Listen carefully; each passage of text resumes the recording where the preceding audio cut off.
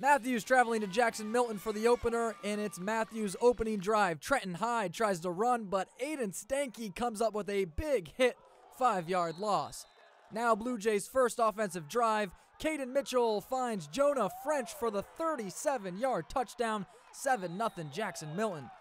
And now, second quarter, up two scores. Caden Mitchell again finding French for another touchdown, that one from 22 yards out to make it 21 0 Jackson Milton.